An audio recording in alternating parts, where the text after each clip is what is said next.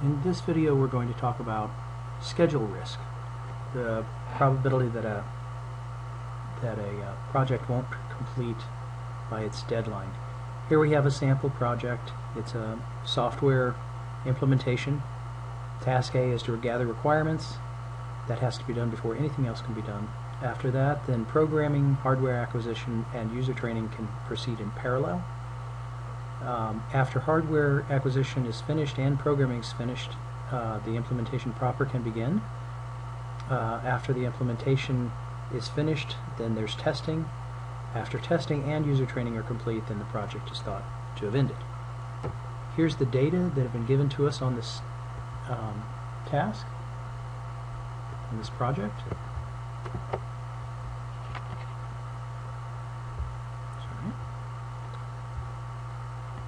Um, we have three time estimates from subject matter experts for each one of the tasks. So for requirements uh, analysis, uh, they've estimated that at best we'll finish that in two weeks, at worst 14 weeks, and the likely time is six weeks. For implementation, task E, they've uh, estimated at best it will take at least three weeks, at most seven weeks, and uh, the most likely is five weeks. Now, under the column heading predecessors, what we have here are the relationships we saw in the arrows before. So task A can begin right away, but task B, C, and D can't begin until A says finished.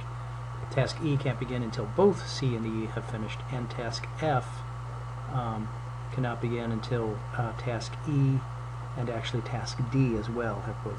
Uh, I'm sorry, task F can't can't begin until task E is finished, and then there's another task here that's not shown, which is kind of the end of the project, which happens when both F and and D have finished. So D and F, when both of them is finished, have finished, the project is said to have finished. All right, the the PERT recommendations from the original PERT um, PERT uh, formulation here, Program Evaluation and Review Technique PERT, uh, are to calculate the mean task time as the optimistic plus the pessimistic plus 4 times the most likely, to calculate the variance as the range squared divided by 36, and uh, then to estimate the probability of on-time completion by looking at only the critical path. So we find the critical path on the task, soon, uh, sum the task times, and that's our expected com uh, project completion time. We sum the variances, take the square root of the variances to obtain the standard deviation of the times on the critical path, of the sum of the times on the critical path.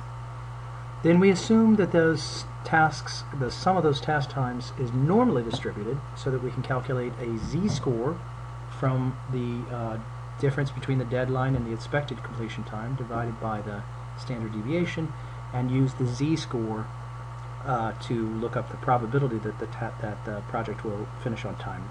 So here's our example of that.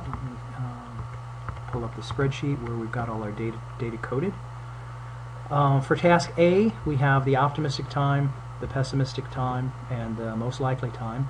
Then under expected duration, we've computed um, the uh, optimistic plus pessimistic plus 4 times the most likely divided by 6, uh, PERT formulation to give us the expected duration. Uh, and then under variance, we have the range squared divided by 36. The critical path on this project is the sum of the tasks A, C, E, F. Those tasks add up to a longer path of the three paths that are there. That's the longest path, makes it the critical path. It has the longest time, 2383 of all the three paths through the network. If we sum the variance of those four tasks, A, C, E, and F, it's 4 plus 3.36 plus 0.44 plus 0.44. We sum those up, then the total variance is 8.25. The due date, uh, we've promised the customer will have this ready in 25 weeks. So assuming that this 2383 is normally distributed, uh, we can calculate a z-score. The z-score would be 25 minus 23.83 divided by the square root of 8.25. That's a z-score of 0.41.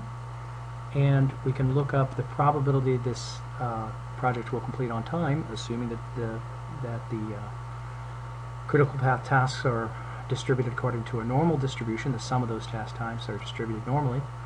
We will finish this project uh, with a probability of 65.8% uh, on time, which gives us a uh, a probability of delay or a schedule risk of 34.23%. Now what I want to do is take this uh, set of uh, data, this data, and I want to keep every assumption that we've made so far about um, from the PERT model about how long the tasks will take, what their variance will be, and uh, and change only one thing. The only thing I want to change is that we'll now look at um, the probability of being late because of any path being late, not just the critical path. So we'll uh, we'll code this into a Monte Carlo simulation. We'll run the Monte Carlo simulation, and that will give us the probability that the project is late, considering all the paths, not just the critical path. All right. So what we first have to do is um, generate some random variables, uh, and our little model over here is going to have start times, the random variables for the task durations, uh, end time, and the end time of the end of the project. That'll be when the project as a whole finishes. We'll get a we'll forecast that. We'll get a, a distribution for that. All right, task A can start at time zero. The task duration, and now we need to generate a crystal ball variable. We're going to assume it's beta, PERT beta distributed, which is the original PERT uh, assumption. So we find the beta PERT distribution here, right here.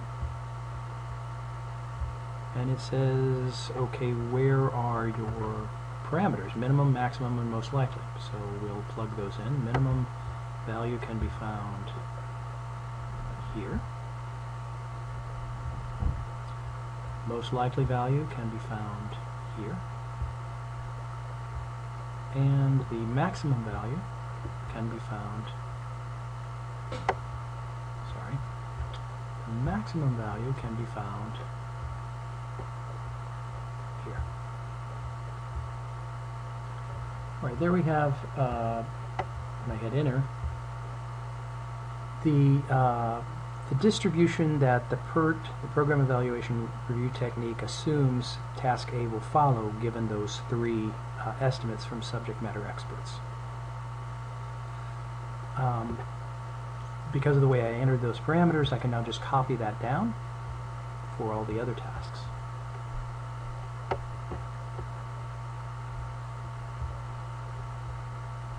Right, the start time of, I'm sorry, I first need to calculate the end time for task A. The end time for task A is going to be the sum of the start time plus the task duration time.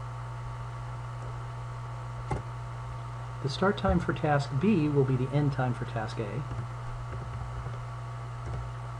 um, as it will be for C and for D. Task E, on the other hand, finishes when B and C have both finished. So B finishes at that time, and um, C finishes at that time. So the maximum of those two, the one that finishes later, is the start time for E. Task F will start when task E has finished, and the end of the project, the final task in the project, will um, will start when D and F have finished.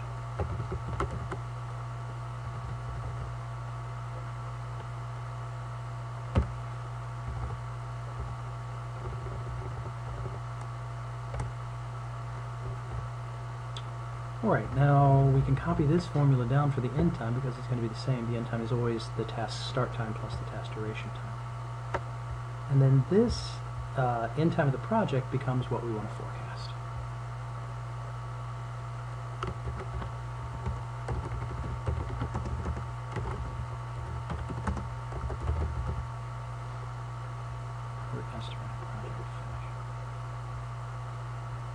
Alright, now just to make sure it all is running the way we think it should, let's uh, use our step function. Uh, sure enough, something went wrong. Distribution parameter error in parameter minimum. Variable must be less than maximum. That would be a problem.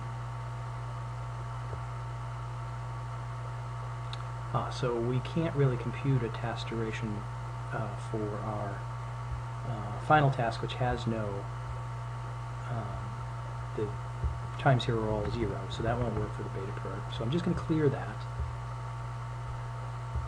And we'll leave that there as a dummy task that takes zero time, that end project node. All right, let's try it again. All right, what we have is uh, on this uh, iteration of the simulation, uh, the first task took 7.4 weeks, the next one 5.2 weeks, hardware acquisition took 7.8 weeks, user training took 15.8 weeks, etc. The, the project as a whole finished in uh, 23.5 weeks. Let's do that one more time.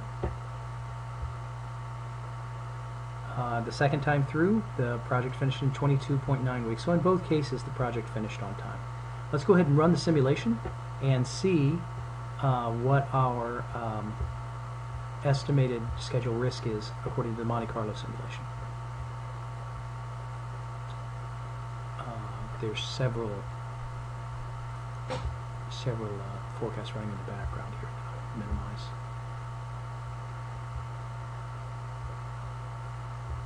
To get to the one that we really want, which is here. Okay, so this is the forecast we just created. PERT estimate of project finish. And we can see that on average, this finishes in 24 weeks, so on average it finishes on time. But if we ask ourselves what's the probability that this will finish um, in 25 weeks by the deadline, uh, then the answer is there's only a 55% chance that we'll finish by the deadline, and consequently a 1 minus 55% chance, um, or about a, a 45, 44.55 chance, 40, 45% chance that we will uh, finish late. Contrast that to the classic PERT estimate, which only examined one um, one path, one critical path.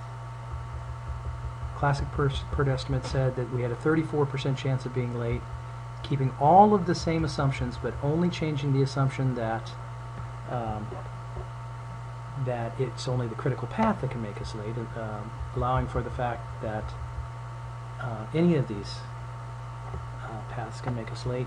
We find that the the probability of being late has jumped to 1 minus 55% or about 45%. So the classic PERT approach here underestimates the schedule risk by about 10%, which is about um, one third of, um, of the current risk estimate. In the next uh, video, we'll look at other assumptions, changing other assumptions such as this beta PERT estimate and the sensitivity of schedule risk to distributional assumptions.